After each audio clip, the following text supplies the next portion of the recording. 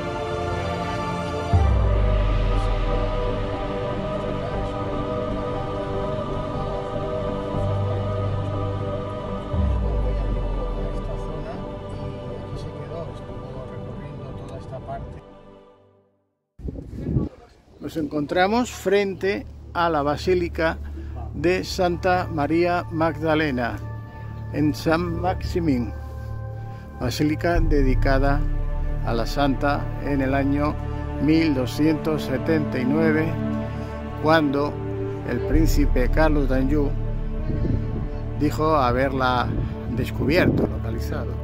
En realidad estaba custodiada desde el siglo IV por los monjes casianistas, los seguidores de Juan Casiano, que son los que estuvieron custodiando el, el sarcófago, el sepulcro de María Magdalena.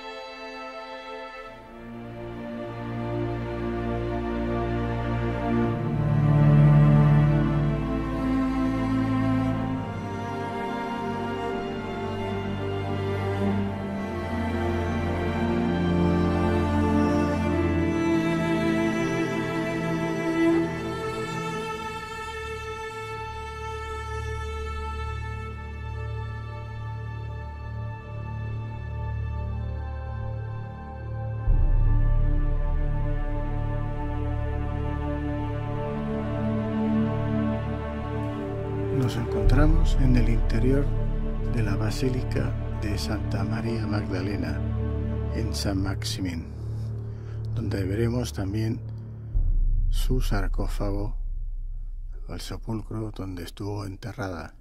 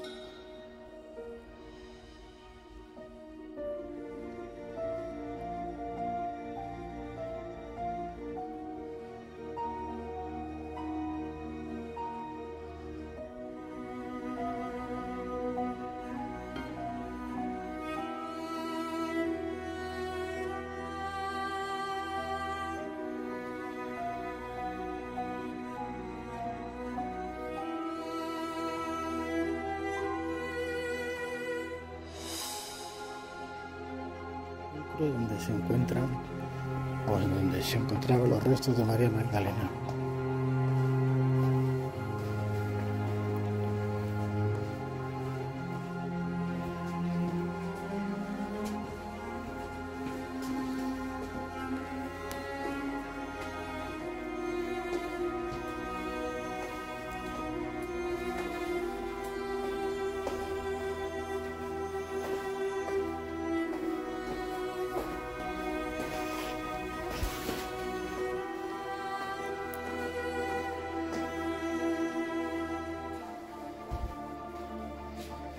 Este es el sepulcro donde fueron inhumados, los restos de María Magdalena.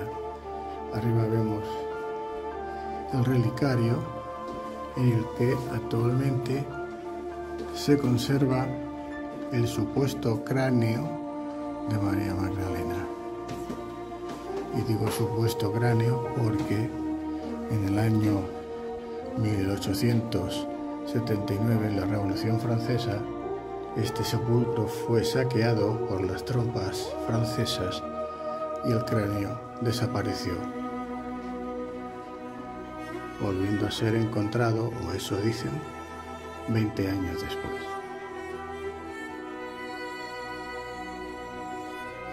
Este mármol que vemos aquí es de un granulado muy fino, este sarcófago se hizo de una sola pieza y se hizo traer desde las canteras imperiales del mar de Mármara en Constantinopla, que era entonces la capital del Imperio Romano. Estamos hablando del siglo IV, aproximadamente sobre el año 350 o al 450, quizás siglo V, aunque no está muy clara la fecha, se hizo traer este sarcófago de una sola pieza, repito, que está hecho de un granulado muy fino de mármol que solo se encuentra en una parte del mundo, en las canteras imperiales del mar de Mármara en Constantinopla. Aquí tenemos la leyenda que nos habla de María Magdalena y de que el día 22 de julio es la fiesta en la que se celebra su onomástica. Vemos también en los lados los sarcófagos de otros santos y santas.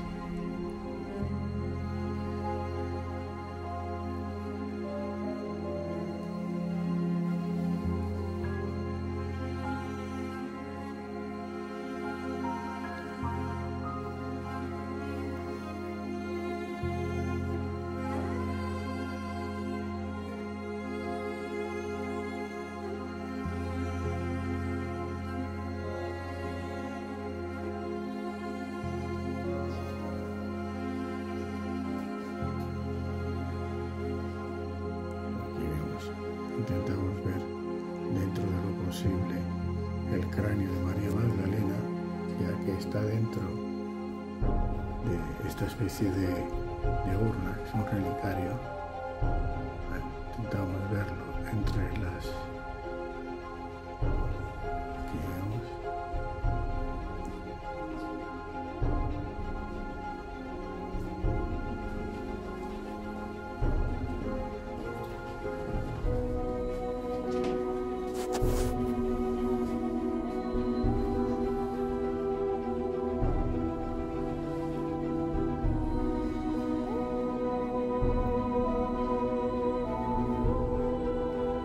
Este es el sepulcro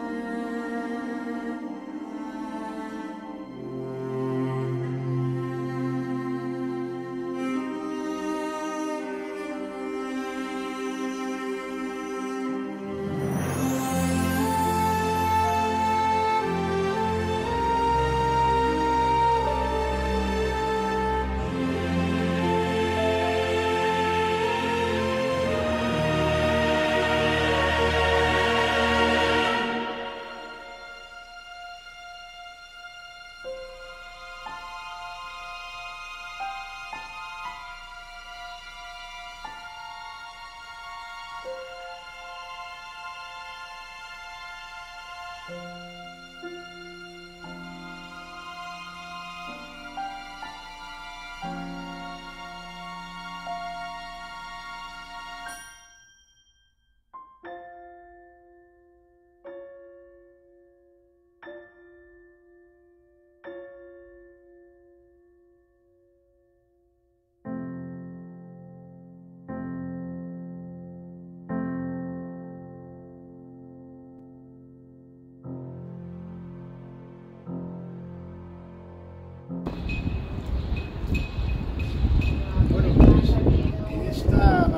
De María Magdalena tenemos el sepulcro en el que fue enterrada por el que sería el primer obispo de, la diócesis de esta zona, que era Maximín, San Maximín. Y aquí tenemos el sarcófago que hemos visto de un granulado de mármol muy fino que solo existe en un lugar del mundo, en las canteras del mar de Mármara en Constantinopla. Este sarcófago de una sola pieza, como hemos visto, de más de dos metros de largo, casi un metro y algo de alto, eh, fue, fue traído, construido directamente en Constantinopla y traído expresamente a este lugar. Como comprenderéis, a pesar de que la Iglesia, el Papa Gregorio I Magno, en el siglo VI, en el 591, dijese que quién es María Magdalena, si no es la, pecadora que tiene todos los vicios, de acuerdo al Evangelio de Lucas, donde hablaba de una pecadora, pero no de María Magdalena, pues como veréis, esto significa que María Magdalena, por supuesto, ni era ninguna prostituta, ni era una mujer cualquiera, sino que era alguien muy importante, tan importante que en el año 1279 el rey, que sería rey de, en, este caso era príncipe, mm, Carlos d'Anjou, pero luego sería el rey de Nápoles, hizo construir esta basílica que ahora vemos aquí, precisamente para acoger estos restos de María Magdalena que estuvieron en este sarcófago hasta el año de 1879, cuando se produjo la Revolución Francesa. Eh, y los soldados franceses saquearon este sepulcro y no dejaron nada más que algunos huesos, prácticamente nada. Incluso se llegaron a llevar el cráneo cráneo que ahora vemos, que está expuesto especie de reliquia, de relicario, relicario, pues en este relicario lo que vemos es un cráneo, pero ¿es el de María Magdalena? Pues no lo sabemos. ¿Por qué? Porque desapareció y lo volvieron a encontrar 20 años después. Quizás se encontró interesadamente porque recordemos que en aquella época los peregrinos venían a este lugar como otros otros, el, templo, por ejemplo, de Santiago, Compostela, y esto pues siempre era un buen negocio. Así que hemos visitado el lugar donde posiblemente fue enterrada María Magdalena. Posteriormente se hicieron varios traslados, de los que hablaremos en otro momento, pero este es el lugar porque es donde ella estuvo. Ella estuvo en toda esta zona evangelizando, predicando e incluso sabemos que estuvo viviendo en algún tiempo, por lo menos algún tipo de rituales en la cueva que ahora se conoce como el Santa Duame, o la cueva Santa de María Magdalena, donde también hemos estado y ya hemos dejado algún comentario.